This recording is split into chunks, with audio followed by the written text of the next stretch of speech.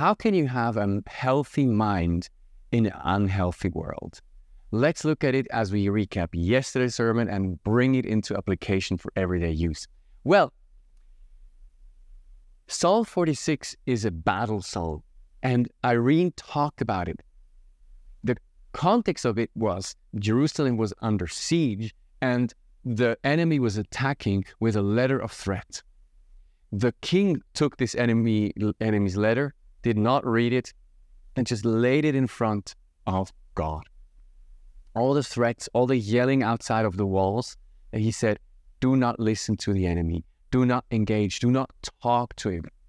Now this is this fits to verse 1 and 3 because that's where the enemy is at the gate. Let me read that to you. God is our refuge and strength, a very present help in trouble.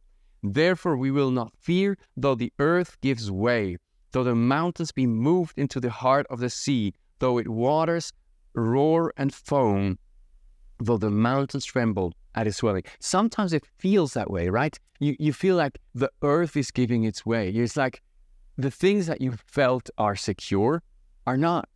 The things that you counted on, the people that you counted on, are not. That there's moments where there's some some form of of really panicky moments where we realize, hey, I thought this, th- I thought you were faithful to me, or I thought he he loved me, or you think I thought I could I could really do or uh, something, or I could be a change, or uh, and then suddenly everything falls out of place, and we feel like the earth is giving its way. That's where you have to move to God and be look to Him because God is a very present help in trouble. It does not mean that He's He's just there looking around, like not attentive. He's looking after you.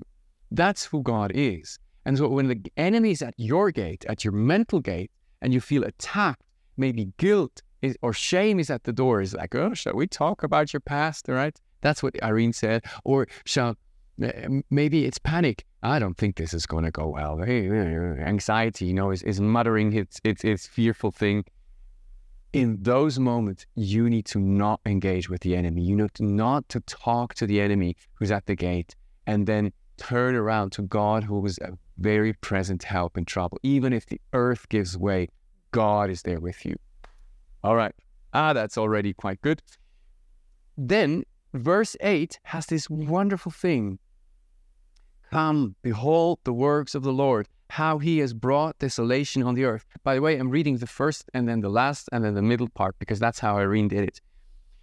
He makes war cease to the end of the earth. He breaks the bow and shatters the spear. He burns the chariots with fire, right? If you're like your mental state is under attack, ah, go to God. He burns them down. Be still and know that I am God. God is with us. And that is a process, right? We when you want to have God in your life, you have to get still. You can't go into a house and and and say, well, let me put my feet up first and then sit down. You can't uh, say meet up with a friend and and and first have coffee with him and then greet him. There's things that have an order, and so um, be still and know that I am God. I will be exalted among the earth, uh, among the nations. I will be exalted in the earth.